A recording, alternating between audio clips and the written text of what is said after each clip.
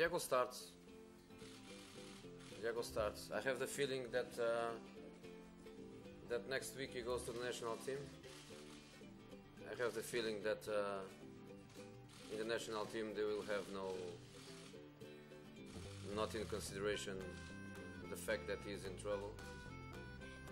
So tomorrow he plays, and hopefully he plays Sunday again against against Arsenal. But in this moment, I don't think about Arsenal. I think about Sporting, and Diego starts tomorrow. There is a risk, yes, there is a risk, but uh, he plays. He assumed the risk and he plays. So hopefully everything goes goes well, and hopefully from Tuesday to Sunday he has enough period of time to be back again on track and, and to play against Arsenal. But uh, you know, it's an important game for us tomorrow.